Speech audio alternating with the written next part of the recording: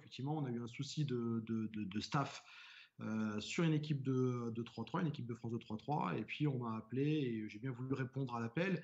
Et, l'anecdote, c'est que j'ai même appris les règles du 3-3. Alors on m'en avait parlé un peu comme ça, mais c'était pas quelque chose qui résonnait en moi à l'époque. Et j'ai appris les règles du 3-3 euh, dans le train pour aller au stage. Hein. Alors ça remonte à quelques années. On était encore sur les balbutiements, on va dire, un petit peu de la, discipline. Euh, tout ça pour vous dire que je pense je pense être assez conscient euh, des problématiques que vous pouvez avoir effectivement dans le, dans le 5-5. Et là, mon idée à moi, c'est plutôt effectivement de venir partager avec, vous mon expérience du 3-3 et comment est-ce que effectivement ça peut peut-être aider le, le, le 5-5. Donc je cherche absolument pas à vous imposer quoi que ce soit, simplement à être dans le partage. Ce qu'on va essayer de faire, euh, on verra un petit peu dans le sommaire, c'est d'avoir un moment des, des, moments de pause pour pouvoir justement que vous puissiez, au travers de, de Vincent, euh, poser quelques, euh, quelques questions. Euh, j'ai aussi prévu des vidéos. Alors, euh, il se peut que euh, ça passe pas très bien. Donc, si je vois que ça se met à laguer et que c'est pas c'est pas visible, on zappera les vidéos. Je les mettrai à disposition de, Vincent qui pourra vous les renvoyer. Donc, les vidéos sont commentées. vous verrez, c'est assez accessible. Allez, nous commençons. alors, ce qui est très, très important à saisir effectivement avec le 3-3, euh, c'est qu'il y a tout un tas de règles, euh, l'environnement, le contexte, euh, qui vont avoir une influence directement sur le jeu, la performance, le joueur et l'équipe. Et c'est très important de l'avoir à l'esprit. Parce que tout ça, ça change le reste. La première des choses, c'est les règles. Hein. elles imposent certaines, certaines contraintes, comme la règle des 12 secondes, qui va forcément générer un comportement technique Hein, euh, un comportement physique aussi. Vous avez 12 secondes pour pouvoir, une fois que vous avez récupéré le ballon, le sortir derrière l'arc. Alors, ce que j'appelle l'arc, c'est cette ligne euh, à 3 points hein, qu'on dans le 5-5, mais qui chez nous vaut 2 points. Donc, pour pas qu'il y ait de confusion, on appelle ça l'arc. Sortir la balle derrière l'arc et, pouvoir effectivement après trouver un tir qui est ouvert. Et là, la règle, déjà, elle est fondamentalement différente euh, du 5-5. Au 5-5, vous avez 24 secondes pour pouvoir tirer. Alors que dans le 3-3, vous avez 12 secondes pour pouvoir sortir la balle derrière l'arc et après euh, tirer. Et forcément, ça génère ici de l'intensité. On va avoir aussi euh, d'autres aspects qui sont particuliers, le scoring. D'accord? Quand vous marquez un lay-up, ça vaut un point. Quand vous marquez derrière l'arc, ça vaut deux. Et ça replace très bien euh, l'adresse dans les qualités du joueur qu'il faut arriver à, à avoir. Les espaces, alors on le verra un petit peu plus euh, sur les, sur les diapos d'après, euh, mais forcément, euh, l'espace, il est différent. quand vous êtes sur du 5-5, vous êtes sur un terrain qui fait 28 par 15, d'accord? Là, sur le 3-3, alors c'est pas tout à fait un demi-terrain de 5-5, c'est même un peu moins que ça, et forcément, ben, on va être sur des espaces qui vont être moins importants. Ça va générer notamment on verra aussi un petit peu sur les diapos d'après, l'obligation aux joueurs d'avoir une vraie vitesse. En attaque, parce qu'il y aura des situations de duel à devoir gérer dans des espaces qui sont réduits, mais aussi en défense. Et là, tout de suite, on peut voir des implications, des applications, euh, notamment par exemple pour les joueurs qui peuvent avoir une motricité qui est plus compliquée, le grand gabarit qui va avoir besoin effectivement de travailler un peu sa vitesse de pied. Le 3-3, c'est super pour ça. L'arbitrage, alors on en parle souvent, c'est un peu source de polémique. Euh, l'histoire sur l'arbitrage, c'est qu'on ne veut pas à un moment euh, tomber non plus dans quelque chose de trop brutal, mais c'est vrai on doit quand même le reconnaître que l'arbitrage en 3-3 est un petit peu plus permissif. Euh, malgré tout, là, la FIBA essaie de bien mettre le curseur au bon endroit.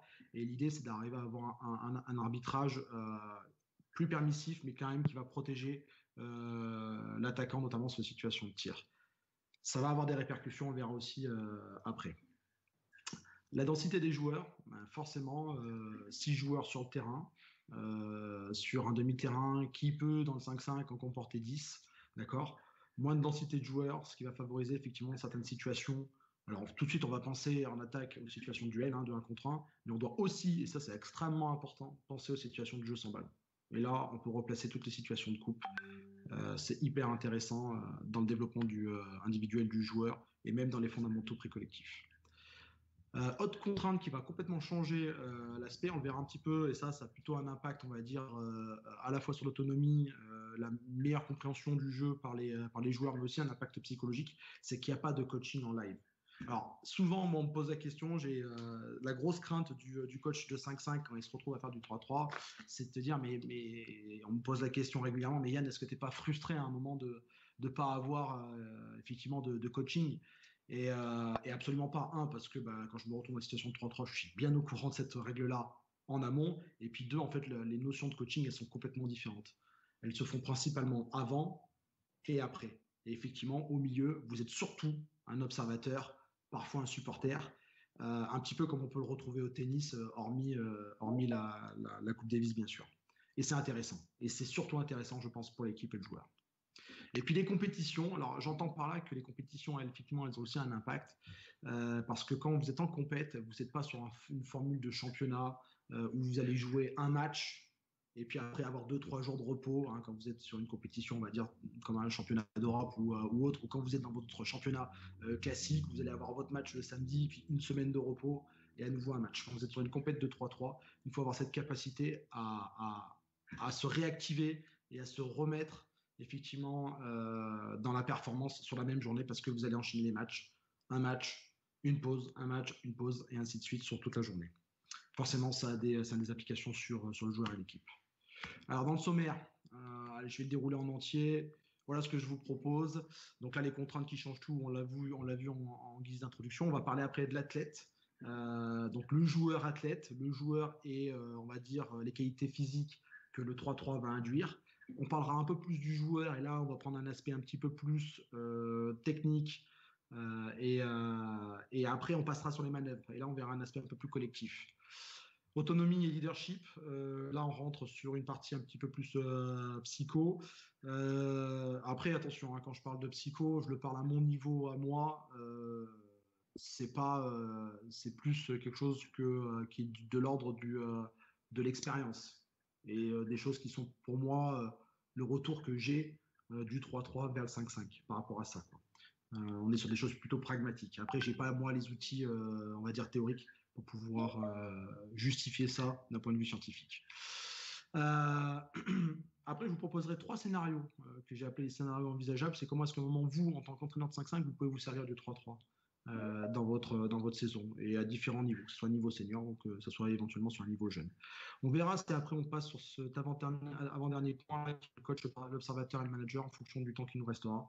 Euh, quoi qu'il en est, là, je mettrai à disposition euh, auprès de, de Vincent le, le, PowerPoint et pourrait aller, aller le consulter librement. Et enfin, le dernier point, ça sera les, les limites. les limites, effectivement, bah, du 3-3 vers le, vers le 5-5, parce qu'il faut avoir ce regard objectif en tout cas, c'est ce que je vais essayer de, faire pendant l'intervention. Alors, euh, l'athlète, premier gros point, euh, on fera, je vais voir, on essaiera de faire une pause, peut-être Vincent, après le, point numéro 3, le joueur. Comme ça, on pourra récolter les, premières, premières questions. Donc là, au niveau de l'athlète, et, et, pourquoi j'ai nommé ça la tête Parce qu'on va essayer d'envisager en quoi le 3-3 peut effectivement amener euh, le joueur à être plus performant sur le plan athlétique, sur le plan physique. Alors, comme je vous l'ai dit euh, tout à l'heure dans l'introduction, euh, l'arbitrage dans le dans le 3-3 il est plus permissif. Alors ça, ça intéressant, c'est que derrière, forcément, en étant plus permissif, notamment sur les contacts, les contacts, on va dire, alors pas les contacts directement au niveau des mains, hein, parce que là, les arbitres essaient de protéger, mais plutôt les contacts, on va dire, de, de corps, épaule contre épaule, tout ça, effectivement, c'est souvent moins sifflé dans le 5-5. La réaction qu'on va avoir à ça, c'est forcément qu'on va développer de la dureté auprès du joueur. De la dureté. À la fois de la dureté défensive, et ça, c'est intéressant parce que lorsque vous allez retourner vers le 5-5, effectivement, il va falloir jouer dans la régulation, mais euh, vaut mieux le plus que le pas assez. Et moi, de mon, expérience de 5-5, souvent, on a ces joueurs qui, euh, fois, sont, euh, en manque de dureté et à qui on a pas euh, sur, les, euh, sur le 5-5. Ah, j'ai un gros retour là. Un micro qui doit être ouvert. Yann, est-ce que tu m'entends? Ouais, je t'entends. Par contre, euh, j'ai un espèce de retour. Alors, Voilà. A priori, on a deux problèmes techniques. Le ah. premier problème, c'est qu'on ne voit pas défiler tes slides. Ah. On est tous bloqués sur la première. Et le deuxième, c'est qu'on a, a activé leur micro. Donc, euh, je te laisse résoudre le problème visuel et moi, je désactive les micros de tout le monde et je te laisserai réactiver le tien. OK. Voilà, c'est fait.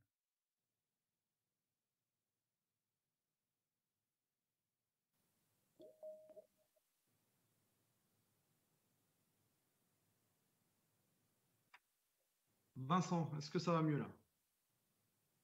Alors, euh, moi j'ai une slide marquée l'athlète en haut. Est-ce que tu vois défiler là hmm, Oui, je vois défiler. Ok, c'est bon, on voit bien ici. Très bien. Allez, j'y retourne. C'est bon pour les autres participants aussi. Allez, super. Donc, euh, au sujet de l'arbitrage, donc effectivement, ce que je vous disais, c'est que vaut mieux le trop que le pas assez, parce que le trop, euh, j'estime qu'on peut mieux le réguler. Euh, le pas assez, c'est toujours difficile de pouvoir faire passer les gens un cap. Ce qui est vraiment important, c'est qu'il faut arriver à comprendre, c'est que c'est les contraintes. Je ne l'impose pas au joueur, je lui demande pas d'être plus dur. Il va devoir l'être forcément parce que l'arbitrage est plus permissif. Voilà. Alors c'est vrai effectivement, comme je vous le disais en défense, notamment sur ces fautes, euh, enfin cette dureté qu'il faut avoir des fois effectivement avec le buste pour pouvoir tenir un duel et que vous allez pouvoir retranscrire dans le 5-5. Mais c'est surtout vrai aussi euh, offensivement où le joueur va devoir s'habituer effectivement à cette à cette dureté défensive et donc par réaction devenir lui aussi plus dur offensivement. Et ça c'est extrêmement intéressant. Et les joueurs, souvent euh, on entend effectivement parfois, notamment dans le basket féminin. Alors je sais mais, parfois, ces situations-là de tir en course où euh, eh ben, euh, on est un petit peu touché, on se désaxe, et puis on n'arrive pas, malgré euh, la, petite faute, à scorer, eh ben, je pense que moi, de arbitrage plus permissif dans le 3-3, le joueur s'habitue effectivement à cette dureté-là. Et derrière, va pouvoir à la fois prendre l'habitude de scorer malgré le contact. Parce qu'il n'y aura pas faute dans le 3-3. Et tant mieux s'il n'y a pas faute dans le 3-3, quand vous allez revenir dans le 5-5, vous êtes habitué à cette situation-là et vous allez scorer. Ce, qui est d'intéressant aussi euh, par rapport au 3-3, alors je ne sais pas si on peut le retranscrire complètement dans le 5-5, c'est que vous pouvez difficilement euh, vous amuser à parler avec l'arbitre. Si vous commencez à parler avec l'arbitre dans le 3-3, euh, c'est mort, ça enchaîne immédiatement. D'accord? Et là, dans ce cadre-là, vous pouvez absolument pas commencer à vous tourner, à parler avec l'arbitre, à dire ah, là, il y avait faute, il y avait ci, il y avait ça. Derrière, le jeu, il continue et vous serez sanctionné, alors peut-être doublement, parce que vous pouvez prendre une faute technique, euh, et puis surtout derrière, que le jeu continue, il risquait d'encaisser un panier. D'accord? Donc ça, c'était un autre peut-être aspect intéressant par rapport à l'arbitrage. Je l'ai dit aussi un petit peu en guise d'introduction, euh, par rapport aux espaces, ce que ça peut transformer chez le joueur de 3-3 qui va revenir dans le 5-5, c'est qu'on est sur des espaces qui vont être réduits. Euh, le, terrain de 3-3 n'est pas un, demi-terrain de, 5-5, pas tout à fait, en fait. demi-terrain de 5-5, d'accord? C'est 14 mètres par 15 alors qu'un terrain de 3-3, c'est 11 mètres par 15. Donc l'espace, il est réduit, et la réaction qu'on va avoir à ça, c'est qu'il faut forcément développer une espèce de vitesse, notamment une vitesse de pied dans des espaces qui vont être, euh, qui vont être euh, réduits. Très intéressant euh, quand vous devez notamment développer, par exemple, le grand gabarit. Quand vous allez être, vous pouvez en, attaque, parce que le grand gabarit va être dans l'obligation aussi des fois de s'écarter hein, du cercle, et donc de, des fois de devoir jouer un contre un face, euh, face au cercle au large, mais aussi défensivement. Euh, on a beaucoup de situations euh, dans le 3-3 où en attaque et en défense, ça change. Et donc, régulièrement, le grand doit se retrouver à défendre sur un petit au large. Et moi, on a vu des, joueurs et des joueuses. Là, c'est vrai. Hein. Là, c'est, là, c'est, vrai. C'est-à-dire. ouais, ouais, ouais, Ça vient chez les retours en direct. Euh, ce que je disais, donc du coup, euh, ce qui était intéressant, c'est qu'effectivement, quand le grand va se retrouver sur un petit, il faut forcément qu'il développe une vitesse de pied. Et encore une fois, euh, ce qui est intéressant, c'est que le sens du jeu vient appuyer le discours de l'entraîneur. D'accord? On est dans l'obligation, effectivement, de développer une vraie vitesse de pied pour pouvoir résister dans un duel. je pense à une joueuse comme Anna-Maria Philippe, qu'on a en équipe de France, qui est une joueuse qui est vraiment habituée dans le 5-5 à devoir lutter plutôt proche du cercle, avec des, des, des joueurs de son gabarit qui ne vont pas avoir une grande vitesse. Quand elle se dans le 3-3, il lui faut facilement une semaine, deux semaines pour pouvoir se réhabituer et devoir à nouveau défendre sur, euh, sur les pieds. Mais elle y arrive. Elle y arrive. Elle s'est développée là-dessus et elle le fait plutôt de façon très efficace. Et ça, je trouve que c'est vraiment intéressant et que ça peut servir le basketteur moderne, on va dire, euh, de, de, 5-5, qui, eh ben, euh, même s'il joue sur le poste 5 et encore plus sur le poste 4, doit se retrouver des fois à devoir défendre au large et avoir une vraie vitesse de pied. Le troisième aspect, dont je voulais vous parler par rapport au développement de l'athlète, c'est effectivement euh, cette capacité à jouer à très haute intensité. Euh, je vous l'ai dit par rapport aux règles, la règle notamment des 12 secondes et le fait qu'on soit sur 10 minutes de temps de jeu effectif, eh ben, vous êtes sur une intensité qui est, totale. Euh, alors que dans le 5-5, dans un, dans un match classique, même si vous avez un match intense, au-delà des, des mi-temps, au-delà des temps morts, vous avez des, espèces de sas à l'intérieur du jeu où vous pouvez récupérer. Quand vous êtes sur une, aide, aide positionnelle, d'accord, vous avez une seconde, deux secondes où vous allez pouvoir récupérer un petit peu. Quand vous êtes en train de, vous replacer, parce que le meneur est en train de monter la balle en marchant et qui fait son appel de, système, vous avez le temps de récupérer. Dans le 3-3, ça n'existe pas. Vous êtes systématiquement à haute intensité. Alors, euh, il faut arriver euh, néanmoins à trouver des petits espaces pour pouvoir les chercher euh, une demi-seconde où on peut récupérer parce que l'intensité est telle que, en plus de ça, vous répétez les, matchs dans le, dans, le, dans le tournoi sur la même journée qu'il faut avoir une grosse capacité aussi à récupérer. Et ça, c'est fondamental. Et donc, du coup, si vous développez cette très forte intensité grâce au 3-3, quand vous revenez dans le 5-5, les choses se présentent plus simplement. On est encore sur cet aspect qui peut le plus, forcément effectivement le, euh, le, le, moins. Et donc, développer une vraie tolérance à la haute intensité. Voilà par rapport à l'aspect de, de l'athlète, ces trois points-là, développement de la dureté, développement de la vitesse sur des espaces réduits, on ne parle pas de vitesse de course sur une traversée de terrain, hein, parce que l'espace euh, le, terrain de 3-3 ne le permet pas. Et enfin, un vrai développement de l'endurance, notamment dans l'endurance à, haute intensité. Maintenant, on va parler du joueur. Après cette slide-là, on fera, euh, une petite pause si vous voulez bien poser des questions. Euh, Vincent me, les, me les fera passer et je me ferai une joie d'y répondre. Alors, le premier aspect, c'est le, effectivement le groupe et, l'individu. on va dire que la chance qu'on a dans le, dans le 3-3, c'est de n'avoir que quatre athlètes. Vous avez trois joueurs sur le terrain et un quatrième qui va être effectivement sur le, sur le banc des remplaçants, sur la chaise du remplaçant, parce qu'il n'y en a qu'un. Et donc, du coup, euh, l'individu, on arrive à mettre le curseur au bon endroit entre euh, cette espèce de balance qu'on peut avoir entre le groupe et l'individu. Parfois, alors c'est de moins en moins le cas, mais quand même, c'est culturellement assez fort chez nous dans le, dans le 5-5, c'est qu'on sait pertinemment que euh, le 9e et le 10e joueur vont très peu jouer. Euh, et donc, du coup, ils sont, eux, au service, si ça se passe bien, total de l'équipe. C'est une bonne chose, hein, mais n'empêche qu'ils sont obligés, effectivement, eux, de, de, s'oublier. En plus de ça, euh, le temps qu'ils vont passer sur le terrain, le temps et ce temps de compétition, c'est aussi un temps de, développement, hein, un temps de, où je vais pouvoir essayer effectivement d'atteindre la performance et de me développer. Donc, être sur le terrain, c'est quand même mieux. Quand vous avez quatre joueurs, vous êtes obligé effectivement dans le 3-3 de jouer. Et donc, du coup, j'ai envie de dire que le temps effectif euh, sur le terrain, il est rentabilisé euh, un maximum parce que bah, le joueur va être sur le terrain un maximum. En plus de ça, euh, on est sur cette espèce de balance, comme vous le disiez, où il faut prendre en compte effectivement l'individu et, le groupe. Et il faut il faut qu'il y ait ce, juste équilibre-là. parfois, dans le 5-5, on est obligé effectivement d'avoir une balance qui remonte très fortement vers, le, vers le groupe. C'est intéressant aussi, hein, bien sûr. Hein. Et moi, je trouve que c'est plutôt l'association des deux qui effectivement permet un développement total. Euh, j'ai oublié ce que je voulais dire par rapport à ça. Bon, ma foi, ça me reviendra peut-être. La prise de responsabilité. Alors, ça va dans le sens euh, complètement euh, de, ce premier point. Il est impossible dans le 3-3, ou sinon vous n'arriverez pas à générer de performance, de ne pas prendre des responsabilités quand vous êtes sur le terrain. On peut pas avoir, dans le 5-5, il est possible effectivement d'avoir un jour un joueur qui va être unidimensionnel. D'accord? Euh, l'exemple, c'est euh, le joueur qui va être euh, un stopper. D'accord? C'est un vrai stopper défensif dans le 5-5. Il rentre sur le terrain pour essayer d'annuler un adversaire en, particulier. Et, de l'autre côté, s'il n'est pas capable de filer un pion, c'est pas très grave. Il aura quatre coéquipiers qui vont peut-être qui vont peut-être le faire. Dans le 3-3, c'est pas possible. Il faut à un moment effectivement prendre de la responsabilité. C'est-à-dire que si à un moment vous êtes libre derrière l'arc et que vous prenez pas le tir, c'est une erreur technique.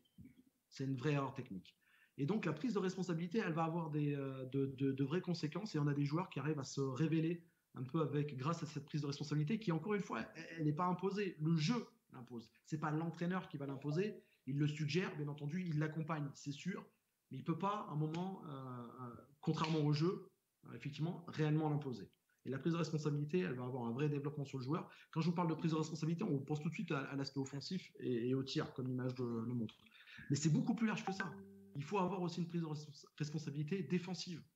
Euh, vous imaginez bien que si je fais que perdre mes duels euh, défensifs et que je compte sur l'organisation collective défensive pour venir combler les brèches, eh ben, dans le 5-5, ça peut éventuellement être envisageable.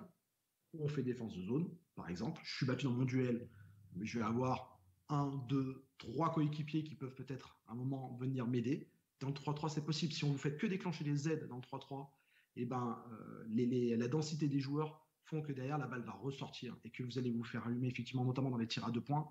Et étant donné que ce, comptage des points qui met en avant très fortement l'adresse, hein, parce qu'un panier derrière l'arc, c'est le double d'un panier simple, eh ben, forcément, derrière, c'est impossible. Donc là, il y a une vraie prise de responsabilité aussi à avoir euh, défensivement. Elle est intéressante. Alors, la polyvalence technique, je vais vous raconter une anecdote par rapport à ça parce que euh, du coup, euh, j'ai envisagé, moi, au départ, j'ai associé la polyvalence technique à une espèce de polyvalence morphologique. C'est-à-dire que quand on arrive en équipe de France, on se disait, bon, en fait, il nous faut que des 3-4. On n'a pas besoin de meneurs, on n'a pas besoin de petits, on n'a pas besoin de très grands parce que les très grands ils vont être trop lents. les petits vont tout le temps se faire poster. Euh, donc, il nous faut que des joueuses à 1m85, 3-4, etc., etc. Et en fait, c'était une vraie erreur. Aujourd'hui, on ne parle pas de polyvalence euh, morphologique. On a des petits, on a des grands. Alors, on n'a jamais eu de très, très grands. Alors, en fille, ici, 1m95, mais en garçon, on n'a jamais eu des joueurs à 2-10 et plus. Euh, ai, on en a croisé un sur le circuit qui jouait aux Pays-Bas c'était plutôt un bon joueur, mais pas un joueur non plus exceptionnel. Euh, mais disons qu'on peut avoir effectivement des grands, euh, on peut avoir des petits. Et ce qui est le plus important, au-delà euh, de l'aspect morphologique, c'est surtout la polyvalence technique. On va demander aux joueurs d'être capables effectivement d'être à droit, à l'extérieur, d'être capable de driver, d'être capable de passer la balle, d'être capable défensivement effectivement de pouvoir tenir un duel, et ainsi de suite, et ainsi de suite. Et cette polyvalence technique, elle est hyper intéressante, notamment quand vous voulez développer individuellement un joueur pour le remettre après effectivement dans le, dans le 5-5. Vers l'une de mes dernières slides, j'y reviendrai notamment dans l'idée de la formation du joueur. Et enfin, par rapport aux joueurs, c'est intéressant aussi, c'est cet espace, ce SAS qui est ouvert pendant le match où il n'y a pas de coaching. Euh, on ne peut pas à un moment euh, freiner parfois euh, les, cette créativité que le joueur peut à un moment avoir et qui fait peur au coach. Là, vous voyez bien la photo, le joueur est en train d'attaquer le cercle et puis il va faire une passe euh, dans dos. Sauf que si vous prenez cette photo-là et que vous la regardez attentivement, vous apercevez que c'était peut-être la meilleure passe effectivement à faire par rapport à, la situation. D'accord? Parce que bah, peut-être que passer la balle de l'autre côté du joueur, peut-être qu'il n'aurait pas eu l'angle. Là, en tout cas, là, il a l'angle pour la passer effectivement vers son coéquipier, là, le, numéro 2. Ce qui va être très important ici, c'est effectivement cette créativité technique, euh, c'est effectivement de la valoriser quand elle a une pertinence. D'accord? Donc, euh, quand vous revenez effectivement du 3-3, eh ben, ok, notamment pouvoir la réinsérer. ce que je vais faire et qui va illustrer un petit peu ce, propos-là, je vais essayer de lancer la vidéo. Vincent, tu me diras si jamais ça lag trop et que c'est trop moche, c'est pas grave. ce qu'on fera, c'est qu'on viendra tout de suite aux questions avant d'attaquer le reste. Et la vidéo, je l'enverrai à Vincent pour que vous puissiez effectivement la, voir euh, tranquillement chez vous. Alors, je vais changer mon partage d'écran pour pouvoir aller chercher la vidéo.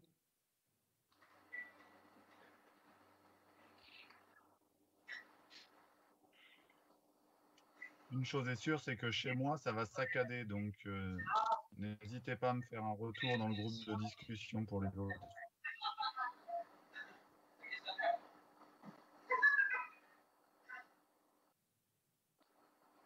Allez, j'essaie de la partager.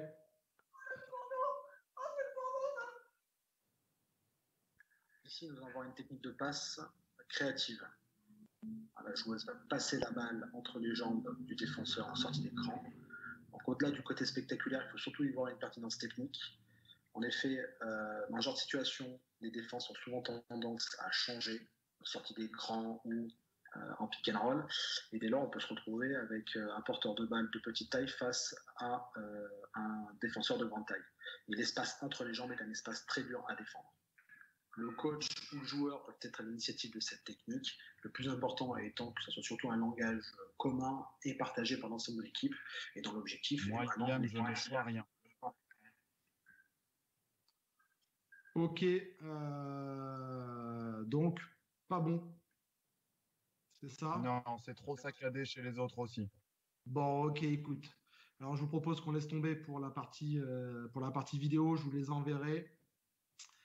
Ça sera mieux comme ça. Ok, ça marche. Je mettrai un lien à tout le monde.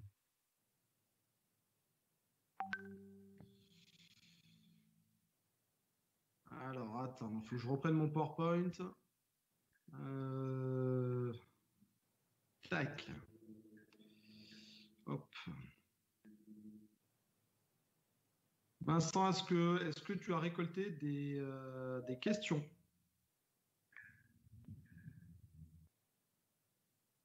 Est-ce que tu m'entends, Vincent? Vincent? Ouais, j'ai pas encore beaucoup de questions. D'accord. Bah, euh, j'ai une question sur la tolérance de l'arbitre. Ouais. Euh, est-ce que cette tolérance arbitrale n'engendre-t-elle pas de mauvaises habitudes qui se répercutent sur le 5 contre 5 Alors, je pense que c'est euh, par rapport à l'aspect défensif. Oui, c'est ça. Alors, écoute, la oui, oui, oui et non. Je m'explique. Euh, moi, j'ai des entraîneurs, notamment quand. Euh, parce que l'idée, c'est lorsque les joueuses, de, euh, après leur campagne, leur, campagne internationale de 3-3, elles reviennent en club. On essaie de les avertir, les joueuses, mais aussi les coachs, sur, sur cet aspect-là. Parce que forcément, les filles mettent une forte intensité, une beaucoup de dureté défensive. Et quand elles reviennent en club, ça peut effectivement engendrer des problèmes. Surtout, surtout en fonction de la philosophie défensive. Je m'explique. Si vous avez une, philosophie défensive, vous êtes plutôt dans la protection, eh ben, il va y avoir un vrai décalage. Là, je parle du 5-5. Hein. Il va y avoir un vrai décalage parce que la joueuse de 3-3, quand elle va revenir dans le 5-5, elle, va à nouveau agresser, notamment, je pense, son porteur de balle.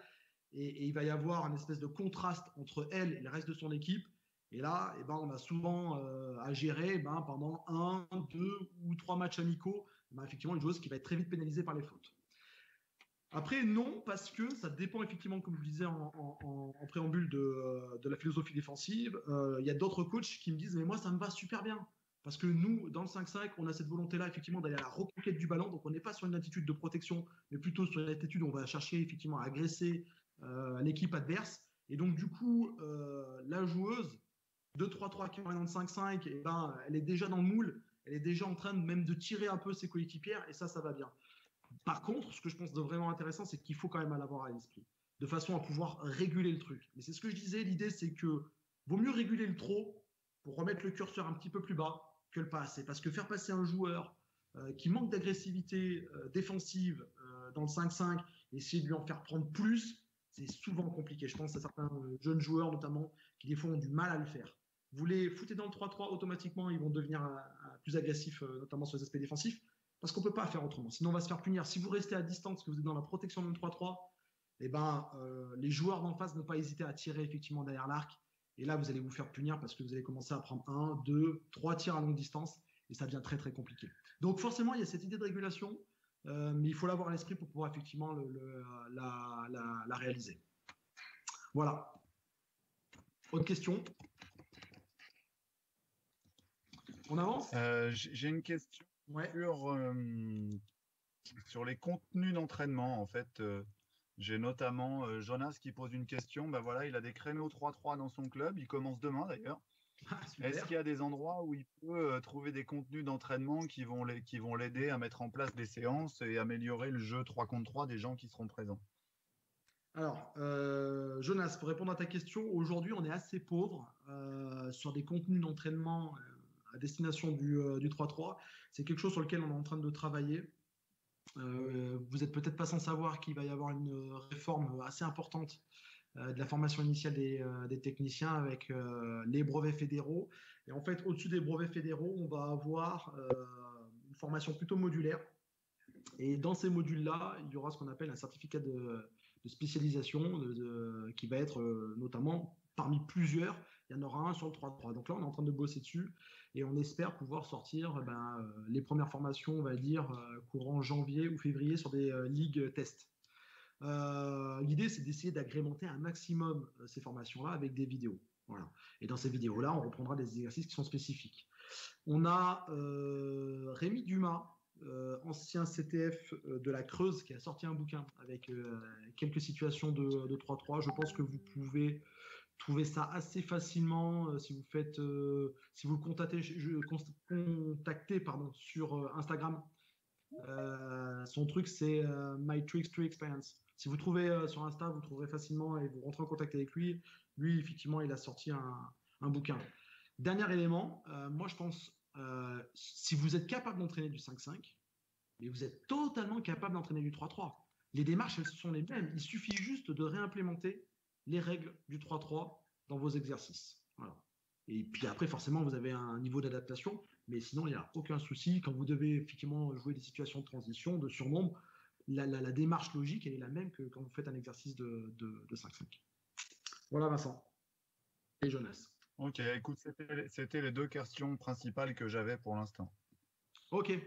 Allez, on avance euh, parce que le temps file. Donc les manœuvres. Donc là, l'idée sur les manœuvres, c'est plutôt quand je parle de manœuvres, euh, c'est plutôt euh, d'essayer de faire le focus sur les aspects collectifs. C'est un de mes collègues, entraîneur sur les U18, pour pas le nommer Gwen Pestel, qui, qui, m'a sorti cette phrase-là et je la trouve assez intéressante. Donc la phrase d'Einstein qui dit rendez les choses aussi simples que possible, mais pas plus simples. L'idée qui a derrière ça, c'est qu'il faut que nous c'est totalement applicable dans le 5-5. Il faut qu'on arrive à livrer un message qui soit le plus clair possible auprès de nos joueurs et de nos joueuses, euh, qui soit le plus facilement euh, digérable.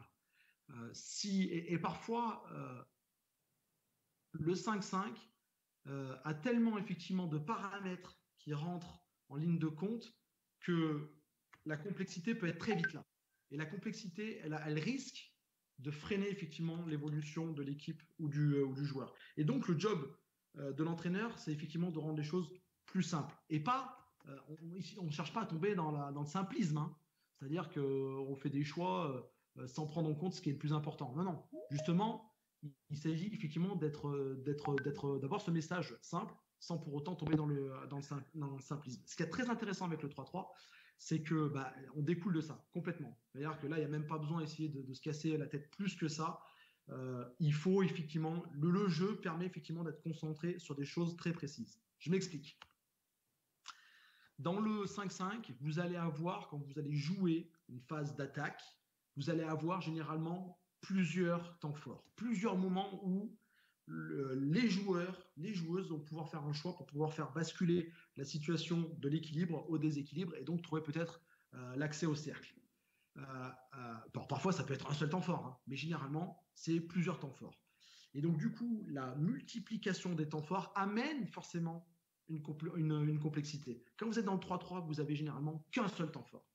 Et ça, ça intéressant, c'est que plutôt que de dire, oh là là, je vais avoir une première entrée euh, avec un pick and roll, puis après derrière, il va y avoir effectivement un back pick, boum, il va y avoir effectivement un écran sortant, machin, et, toute cette lecture-là qui se rajoute au joueur de 5-5 fait que parfois il n'arrive pas à lire suffisamment simplement la, situation pour pouvoir trouver la réponse la plus adéquate.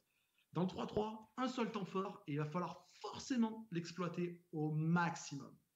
Ça veut dire que quand vous prenez cet élément-là et vous dites, OK, euh, comment est-ce que je peux m'en servir pour le 5-5 Eh ben, tout simplement, quand vous, voulez travailler sur quelque chose de très précis, vous jouez-le dans le, dans 3-3. Si vous voulez bosser le pick and roll, jouez-le dans le 3-3. La multiplication, le fait que vous va falloir exploiter pleinement euh, le temps fort, fait que vous allez faire progresser vos joueurs euh, par rapport à ça.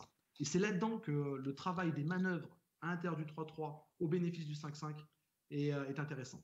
Je vous mets pas la vidéo, vous la retrouverez effectivement auprès de, auprès de Vincent. Et c'est ce que je vous disais tout à l'heure, on va répéter les situations. Euh, il y a beaucoup effectivement de situations de pick and roll qui sont jouées dans le, dans le, dans le 3-3. Euh, je dirais même qu'il y en a même plus que dans le 5-5. Et vous imaginez déjà dans le 5-5, le jeu est très axé sur le pick and roll, on a encore plus dans le, dans, le 3-3. C'est l'exemple qui vous montre effectivement et eh ben, que ce, euh, ce temps fort, vous allez pouvoir effectivement le bosser à 150% grâce, grâce au 3-3. Il n'y a pas que des situations de pick and roll. Dans le, dans le 3-3, on utilise aussi beaucoup de situations de flare screen, tous ces, tous ces écrans-là, où je vais passer, la balle est dans l'axe, je passe la balle à ma gauche et je vais recevoir un écran de mon, de mon coéquipier, de ma coéquipière, de la droite. D'accord? Et euh, notamment dans la formation du jeune joueur, euh, étant donné qu'on a cette répétition et étant donné qu'on a un seul temps fort, beaucoup de fois, les joueurs arrivent à trouver des solutions eux-mêmes eux-mêmes. Et ça, c'est extrêmement intéressant. C'est-à-dire que quand vous êtes dans l'entraînement 3-3, par contre, euh, la force euh, managériale, la force pédagogique de l'entraîneur, ça va être d'arriver à relever cette, cette, cette créativité, cette prise d'initiative, si elle est juste, et la renforcer. Et la renforcer. Voilà. Et donc, je te disais, il y a aussi des situations d'innovation. Alors, euh, c'est marrant parce que ces situations d'innovation, souvent, l'innovation si on peut dire qu'elle existe dans le 5-5. même si c'est souvent des choses, et on est plutôt sur des phénomènes de mode avec des choses qu'on a utilisées il y a longtemps et qui reviennent des fois au bout du jour. Dans le 3-3, souvent, l'innovation tactique, elle vient du joueur. Elle vient du joueur. Et ça, c'est euh, pour son ego d'entraîneur, c'est parfois dur à dire. Hein.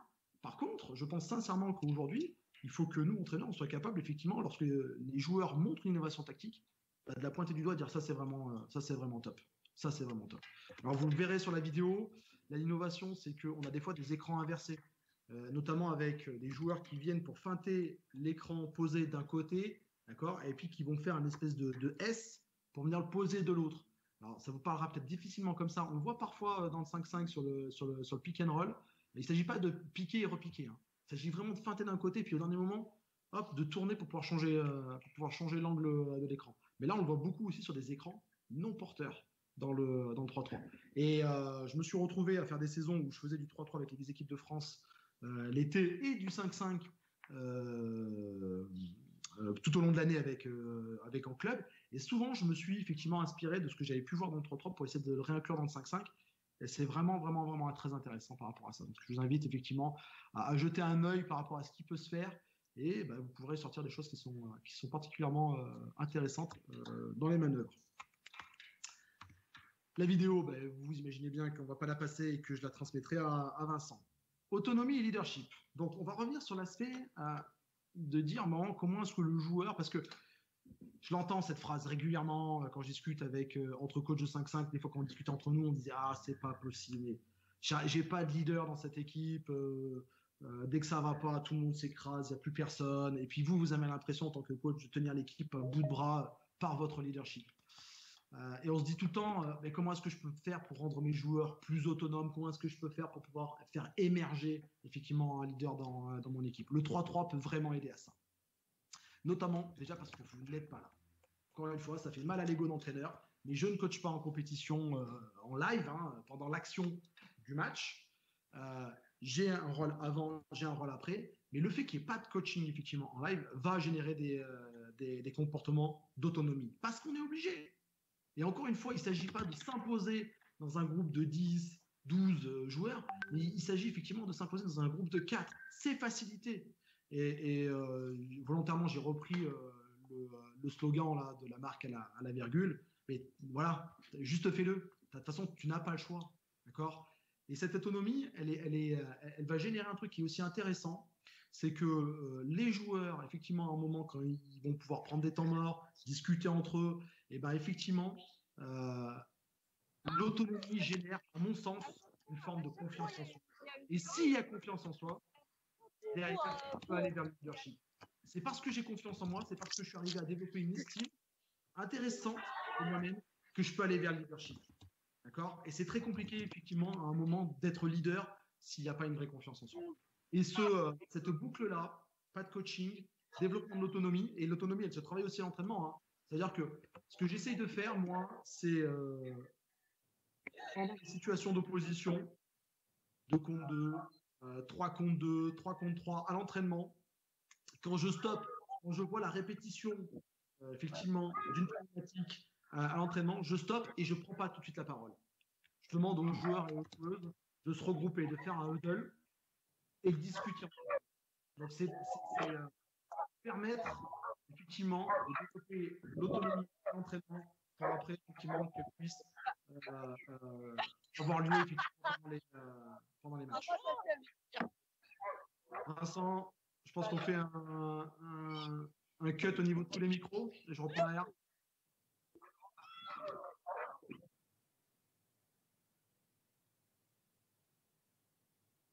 Ok, allez, ça y est, j'entends euh, plus les bruits derrière. Donc, je recommence. Donc, euh, cette espèce de cercle vertueux, pas de coaching en live, développement de l'autonomie, confiance en soi, derrière, bah, effectivement, euh, permet le, développement euh, du, leadership. Et j'ai vu notamment des joueuses se révéler par, rapport à ça.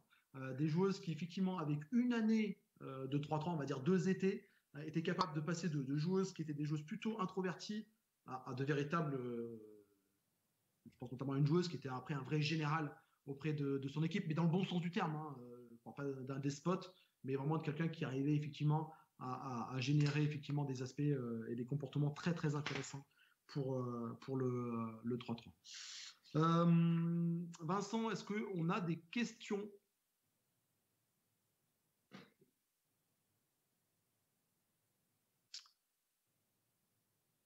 Vincent, J'ai une question, euh, mais bon, en fait, ça rejoint exactement ce que tu dis. C'est comment, comment rendre agonistes les deux, les deux disciplines et comment réussir à les faire interagir euh, mieux l'une avec l'autre. Alors, je vais essayer d'y répondre là sur, euh, sur la slide qui va suivre. D'accord. et puis après... ça répondra à, cette, cette question-là parce que je vais l'exposer au travers de trois propositions euh, que vous, en tenant 5-5, vous pouvez peut-être effectivement appliquer. Alors, ça va dépendre effectivement si c'est plutôt des seniors, plutôt des jeunes, etc. Mais en tout cas, j'espère que ça répondra et puis peut-être qu'on pourra refaire un, petit point après ça. Allez, tu faisais tout à l'heure une référence à, à, ton collègue euh, qui a créé une page Instagram euh, et donc j'ai mis le lien dans le groupe de discussion à tout le monde. Super, génial. Alors, les scénarios les scénarios envisageables. Donc là, l'idée, c'est qu'effectivement, euh, c'est de vous proposer euh, éventuellement euh, de vous dire, OK, moi, comment, maintenant qu'on a dit tout ça, OK, c'est très bien, mais comment est-ce que ça, je peux effectivement l'intégrer dans ma saison de 5-5 Alors, la première des choses, alors vous m'excuserez par rapport à ça, mais des fois, je l'entends. et je voudrais couper court un petit peu à tout ça. Des fois, on me dit, oui, voilà, là, le 3-3, vous n'avez rien inventé. on fait du 3-3 à l'entraînement depuis très, très longtemps. Et, je pense qu'il y a une petite confusion quand on vous parle de, faire du 3-3, on vous parle de, on parle de faire du vrai 3-3. Il ne s'agit pas de faire du 5-5 avec les règles du 5-5 sur un, demi-terrain euh, à effectif réduit. D'accord? Parce qu'effectivement, il y aura trois joueurs, si vous êtes effectif réduit, trois joueurs qui vont peut-être affronter trois joueurs, mais avec les règles du 5-5.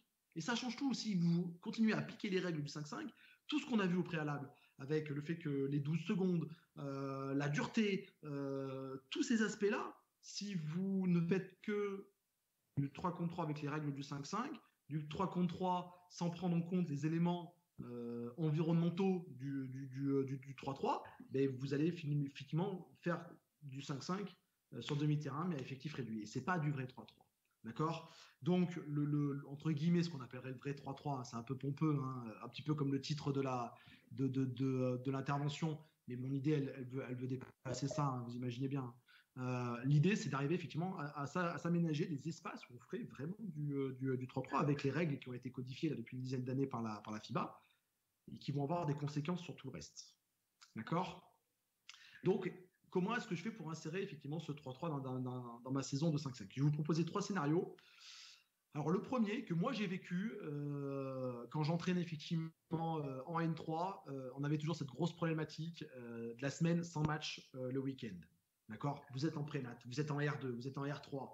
Euh, c'est encore plus vrai en départ. Euh, vous êtes même sur les championnats jeunes. Il y a toujours cette semaine où il n'y a pas de match le week-end.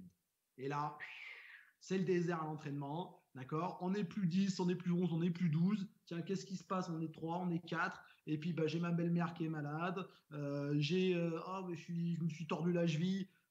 tous les prétextes bons et imaginables ressurgissent comme par magie à, ce moment-là, et puis vous vous retrouvez eh ben, à l'entraînement, sur les deux ou trois entraînements que vous pouvez avoir, et eh ben, c'est le désert. Ça, c'est vraiment problématique. Notamment, alors j'ai envie de dire, quand c'est une semaine de décharge, que vous l'avez programmé comme une semaine de décharge, où les gens vont effectivement récupérer, j'ai envie de dire, bon an, mal an, euh, vous retombez sur vos pattes. Mais il y a quand même une espèce de frustration si le joueur euh, qui lui fait l'effort de venir quand même. Et ça, c'est un petit peu gênant. Donc, ce que moi, j'avais euh, souvent fait dans mes, dans mes, dans mes semaines, effectivement, où on n'avait pas de match en N3, c'était euh, de dire, OK, bah, ces semaines 2-3-3. Plutôt que de se dire, bon, bah voilà, euh, tac, on va travailler individuellement ou, ou euh, on va travailler un point précis, où c'est assez abstrait, je disais, non, non, on fait semaine 3-3. Semaine 3-3 où on va matcher 3-3. Semaine 3-3 où on va prendre le ballon du 3-3, qui, qui, est un ballon très particulier. Semaine 3-3 où quand on va faire l'entraînement, les exercices, ce seront des exercices de 3-3. Et ce que ça a généré, c'était un, un maintien, voire un développement de l'intensité. Donc, si vous êtes bien sûr sur un moment de l'année où vous cherchez ça, hein, c'est extrêmement intéressant. Deux, on, avait, tout en continuant à faire du basket avec euh, bah, tous les bienfaits que l'on a pu voir euh, avant, et ben ça brisait aussi la monotonie. on avait un espèce de, de, une parenthèse qui s'ouvrait, un, un, vrai bol d'air frais où, on disait bah ok, euh, on est en train de faire autre chose et c'est vraiment sympa.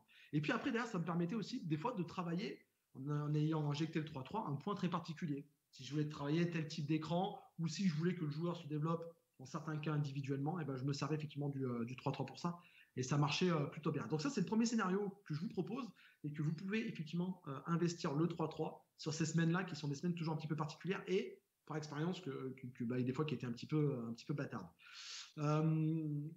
Vous pouvez aussi vous en servir régulièrement, notamment en prépa, notamment par rapport à l'aspect euh, physique, de dire bah voilà, je vais consacrer un temps d'entraînement, un entraînement de temps en temps en prépa sur, euh, sur le 3-3 parce que bah, forcément l'intensité fait que vous allez pouvoir tirer des bénéfices de cette intensité-là que vous aurez fait votre 3-3 vers votre 5-5.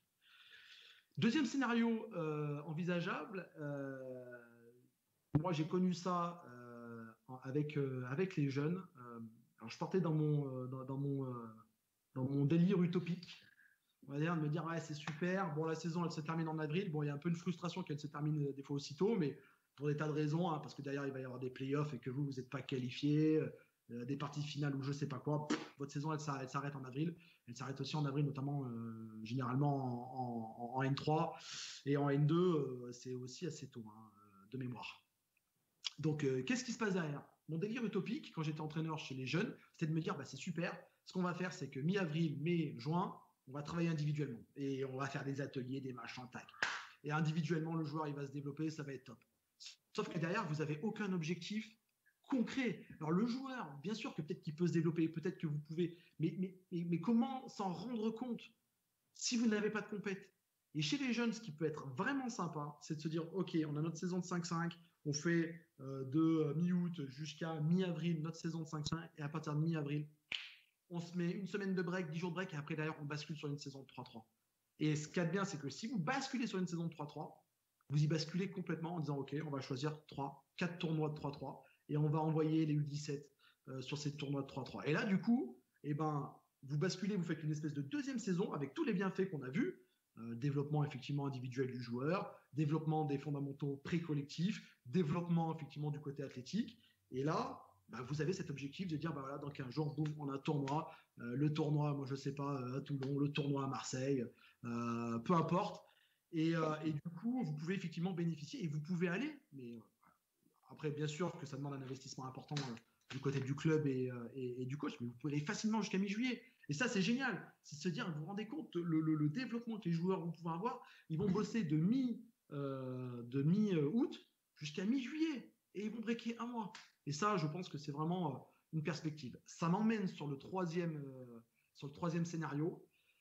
Je pense que pour la formation du, joueur de 5-5, hein, j'insiste sur le, joueur de 5-5, même si on va dire que vers une vingtaine d'années, le jour où il y aura vraiment deux filières distinctes, vers 21, 20, 21 ans, et les joueurs qui choisiront plutôt d'être des joueurs 3-3, les joueurs qui choisiront plutôt d'être des joueurs de 5-5, il y en a qui feront peut-être les deux, mais là vraiment, pour la formation du joueur de 5-5, moi j'estime aujourd'hui, je pense, qu'on doit envisager effectivement euh, cette espèce de rapport-là. Ça veut dire que 80% de vos entraînements doivent être euh, dans l'objectif du 5-5. D'accord?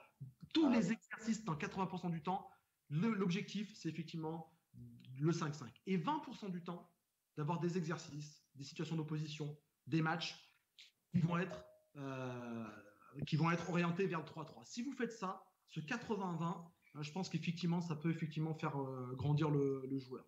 Mais vraiment pour développer le joueur de 5-5. Hein. Vraiment, hein. il ne s'agit pas de dire on va développer effectivement un joueur spécifiquement de, 3-3. On laissera les joueurs effectivement choisir par rapport à cet aspect-là. Voilà.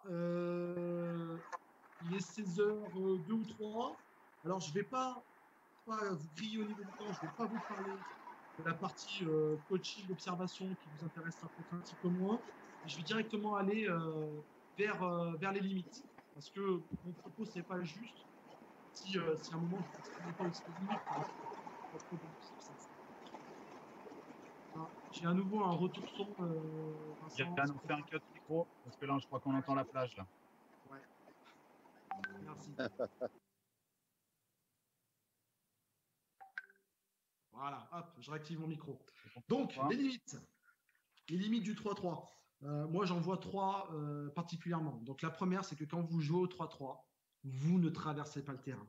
Et forcément, il faut avoir certaines qualités. Je pense au jeu rapide, le jeu rapide du 5-5, hein, euh, que vous ne trouverez jamais effectivement dans le 3-3. Nous, on a une autre façon de jouer le jeu rapide. Hein, c'est le jeu de transition, cette capacité à sortir vite, très vite là à la balle et la faire euh, re-rentrer. Bon, ben voilà, c'est pas en faisant du 3-3 que vous allez devenir meilleur sur les traversées de terrain, dans le repli défensif, euh, ou effectivement dans le jeu rapide ou le jeu de transition dans le 5-5. Ça, c'est la première chose. Elle est évidente, mais c'est intéressant, intéressant d'avoir à l'esprit. Le deuxième aspect, euh, c'est que tout à l'heure, j'en ai un peu parlé euh, assez rapidement, mais ce qui est vraiment intéressant euh, dans le, dans, le 3-3, c'est que toutes ces frustrations qu'on a dans le 5-5, où le joueur, des fois, cherche un peu le prétexte, hein, dire Ah bah ouais, mais tu me fais pas jouer, coach, machin, etc., alors que je le mériterais. dans le 3-3, ça n'existe pas. Ça n'existe pas. Il n'y a pas ce genre de frustration-là. Parce que quoi qu'il arrive, vous jouez. Le jeu est tellement intense qu'on est obligé de multiplier les rotations, c'est-à-dire qu'à chaque fois qu'il y a un ballon mort, nous, on estime qu'il doit y avoir un changement. D'accord? Et que les changements, entre guillemets, tactiques, ils ne doivent apparaître qu'à la fin. Donc, c'est extrêmement intéressant parce que vous vous débarrassez de ces frustrations-là. Par contre, à l'inverse, eh ben, euh, les joueurs qui font que du 3-3, apprendre, qui ne feraient vraiment que ça, hein, apprendre eh ben, effectivement à gérer les frustrations quand ils sont de retour dans 5-5, je pense qu'ils seraient confrontés à de l'inconnu. D'accord? L'association des deux, le 80% à destination du, 5-5, le 20% à destination du 3-3 pour la formation d'un joueur pour une saison d'un joueur de 5-5, c'est intéressant et on a cet équilibre-là où il va évacuer quelques frustrations grâce au 3-3, mais il devra aussi apprendre à les gérer euh, dans le 5-5 euh, dans sa saison euh, régulière. Et enfin, on a un petit peu parlé tout à l'heure, c'est le retour dans le, dans, le 5-5. Euh, quand vous êtes joueur de 3-3 et que vous avez fait votre été dans, le 3-3, que vous revenez dans le 5-5, il y a certaines.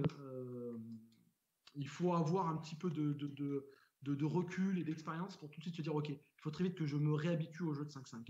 Il va pas y avoir un seul temps fort, il peut y en avoir un, deux ou trois. Il va y avoir de la traversée de terrain.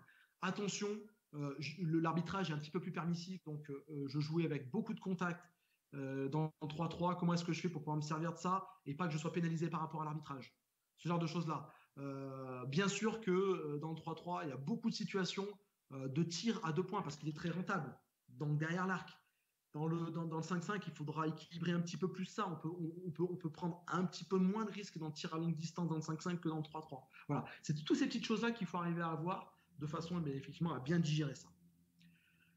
Voilà, moi j'ai terminé mon, mon PowerPoint. Vincent, y a-t-il des questions avant que l'on boucle cette intervention? Alors, dans, tout ce que j'ai pu voir défiler, il y a essentiellement deux questions qui arrivent. Euh, la première, elle est liée au milieu scolaire. Est-ce que tu peux nous dire si à l'heure actuelle, euh, le 3-3 commence à s'implanter dans le milieu scolaire? Parce qu'avec toutes les vertus que tu nous donnes, ça paraît pour tout le monde intéressant de, de le faire. Euh, je, je, crois que c'est beaucoup dû à des initiatives locales. Vraiment. Ça veut dire que. Euh, alors, euh, sur ma ligue, là, en Auvergne-Rhône-Alpes, euh, on a commencé effectivement à former les professeurs de PS au 3-3. Mais le, le, le, basket en général est souvent. il y a souvent un peu pour le prof qui n'est pas spécialiste, il y a cette forme d'appréhension de se dire, bah, effectivement, nous, on est plongé dedans le 5-5, le, 5-5 et le 3-3, on le connaît bien. Voilà. Euh, mais les profs, eux, ils ont beaucoup d'appréhension, ceux qui ne sont pas spécialistes, d'aller là-dedans, parce qu'effectivement, il y a beaucoup de règles et ça leur fait un peu peur. Maintenant, moi, je suis persuadé que le 3-3, c'est la porte d'entrée. C'est la porte d'entrée. Et là, sur les formations que j'ai eues, où on avait des profs qui n'étaient pas du tout spécialistes de basket, qui débarquaient effectivement, eux, ils ont eu. Euh, pour eux, ça a été. Euh, j'exagère peut-être un petit peu, forcément, parce que j'essaie de vendre mon truc. Mais pour eux, c'est la révélation. Ils ont dit, 40 élèves par classe, plus d'élèves sur le terrain que sur un terrain de basket 5-5, vous allez avoir 12 joueurs. Si vous rajoutez le remplaçant, ça en fait 4 de plus, donc ça fait 16 joueurs. Alors que généralement, quand on fait un 5-5, et puis les traversées de terrain qui sont compliquées, l'arbitrage qui est compliqué, le 3-3, tout ça libère un petit peu ça. Et, les personnes qui sont des fois les plus dures à convaincre, c'est les profs de PS spécialistes 5-5, spécialistes basket, qui des fois ont du mal à, digérer un petit peu le 3-3. Et bon, une fois qu'ils ont pris le truc, euh, ça, se développe. Mais je pense sincèrement qu'effectivement, le 3-3, c'est la porte d'entrée pour faire du basket en milieu scolaire. Il faut qu'effectivement bah, développer euh, la, formation euh, des, profs de PS. Et puis, et puis après, les, les compètes UNSS, elles sont intéressantes aussi pour ça, parce que si on arrive à joindre l'UNSS et, l'enseignement scolaire, c'est vraiment top. Quoi. Et ce qui est vraiment bien, c'est que on peut facilement réguler le niveau d'opposition. Avec le 3-3, étant donné que vous avez moins de joueurs, bah, vous pourrez plus facilement faire des groupes un peu plus débrouillés, ceux qui sont un peu plus débutants, et sur les compétitions très très vite, étant donné que vous n'avez pas besoin d'autant de joueurs que dans le 5-5, vous pouvez des fois facilement sur un après-midi faire deux tournois. Un tournoi un petit peu plus débutant, si on peut appeler ça comme ça, hein, c'est pas péjoratif, et un tournoi avec des gens qui sont un petit peu plus euh, euh, débrouillés. Mais c'est un vrai enjeu. Hein. Euh, je pense que sincèrement, si on veut un moment susciter l'envie au travers de l'enseignement scolaire aux gamins de faire du basket en général, je ne parle pas spécialement du 3-3, mais de faire du basket en général, je pense que la porte d'entrée, c'est effectivement le, 3-3. Voilà. Mais il faut, va falloir piocher, il va falloir y aller, il va falloir y retourner. Surtout qu'aujourd'hui, il me semble qu'ils ont, euh, sur les enseignements scolaires, notamment je pense au lycée, il y a, plus de, latitude par rapport au choix. Après, j'ai des, collègues euh, profs de PS qui étaient spécialistes basket et, ils ont fait des cycles et des cycles de basket 5-5 euh, avec des débutants et ils arrivaient pas à grand, à pas à grand chose. Notamment dans le jeu sans ballon, il n'y avait pas grand chose. Et là, depuis qu'ils sont mis au, 3-3, vraiment, ils me disent, mais on arrive à avoir du backdoor, on arrive à avoir des, euh, des cuts, on arrive même à, exploiter des fois des écrans, ce qui était impossible avec le débutant, je parle, hein, euh, dans le 5-5. J'espère que j'ai répondu à cette question. Écoute, parfait pour moi. Et j'ai une dernière question. Est-ce que pour toi, les aspects technico-tactiques sont identiques au 3-3 et en 5-5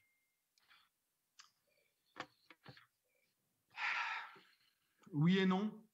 Oui et non. Euh, sur une manœuvre simple, euh, un pick and roll, euh, un écran dans le dos, un écran sortant, les aspects sont quasiment identiques, sauf que il faut quand même prendre en compte le fait qu'on a moins de densité de joueurs, donc on va avoir beaucoup moins d'aide. La collaboration, elle se fait souvent à deux. Alors, ça a ça d'intéressant, c'est que sur l'aspect défensif, ça va obliger effectivement les joueurs à développer de vraies qualités. Ils ne peuvent pas se cacher derrière leur coéquipier.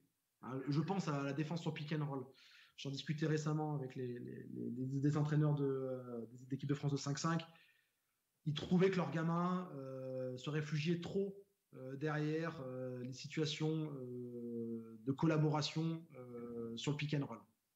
Alors que avant ça, si on met de la pression sur le porteur de balle, si on oblige le porteur de balle effectivement à reculer, et si vous arrivez à faire en sorte que, allez, une fois sur trois, vous arrivez à passer avec le joueur dans le pick and roll, on n'est même pas obligé de parler de collaboration, on n'est même pas obligé de parler de rotation à 2 et à 3. Et dans la formation du jeune joueur, c'est extrêmement intéressant. Voilà. Par contre, ben, c'est sûr que euh, le joueur de 3-3 qui est habitué à ça, si demain il se retrouve effectivement à joueur de Euroleague, il, va être embêté hein, parce qu'il va falloir effectivement faire des rotations avec euh, beaucoup de joueurs parce que le système euh, défensif, il a beaucoup plus, on va dire, de possibilités. Et donc, du coup, il va falloir réagir à tout ça. Donc, euh, à la fois, j'ai envie de dire, si on fait une analyse micro, euh, oui, et à la fois, si on fait une analyse plus large, non. D'accord? Mais l'un euh, peut vraiment servir l'autre. Sincèrement, je pense. Et j'aime bien encore, je, revends la proportion du 80-20 dans l'objectif du 5-5. 80% de 5-5 et 20% de 3-3. Et je pense que le mariage est vraiment bon. L'alliage est vraiment bon. Voilà, Vincent. Ça marche. Bah, merci beaucoup, Yann. Je, ne vais pas te retenir plus. Merci pour le temps que tu as consacré. Merci d'avoir répondu euh, rapidement et, bien sûr en disant oui. Voilà, j'ai beaucoup de messages qui défilent pour dire que tu es passionné par ce que tu fais, que tu, peu, tu, nous vends les choses avec envie et je crois que tu as réussi à transmettre ça à la plupart des gens qui nous ont écoutés. Voilà, donc j'ai pas mal de messages qui arrivent dans le groupe pour te, remercier et te féliciter pour la qualité de ton intervention. Écoute, c'est gentil. Merci à vous. C'est toujours un plaisir de pouvoir euh, euh, partager. Euh, et puis après, bah, si on se croise sur les, bords des terrains, n'hésitez pas à venir m'accoster pour qu'on puisse discuter de 3-3, bien sûr, mais aussi de 5-5 de formation de cadre et tout ça, c'est avec un, grand plaisir que je, suis prêt effectivement à partager. Et j'insiste vraiment sur le terme partager parce que euh, l'idée d'avoir aussi un, retour, il est important. Hein. Euh, il ne s'agit pas de s'inscrire dans un, monologue parce que je vais, vite tourner en rond. Et pour moi-même, hein, euh, voilà, j'ai besoin effectivement des autres de, leur, de leur éclairage, de leurs suggestions pour continuer à avancer. Je pense que c'est là-dessus qu'on arrive à se développer. Quoi. Voilà. Merci à vous en tout cas.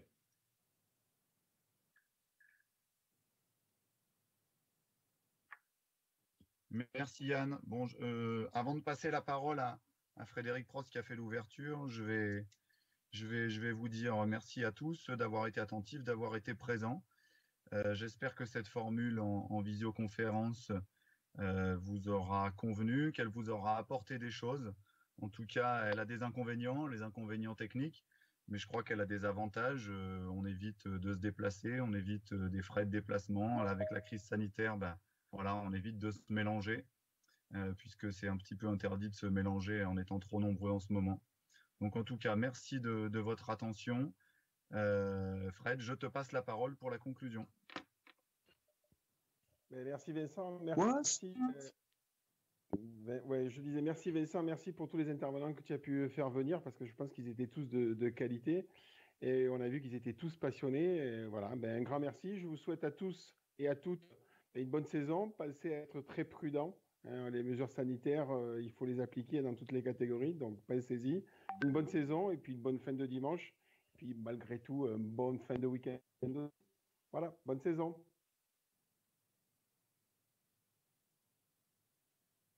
Bah, c'est bon pour moi. Merci beaucoup. Merci Vincent. Merci Anne, merci beaucoup. C'est super. J'aime bien cette. Euh,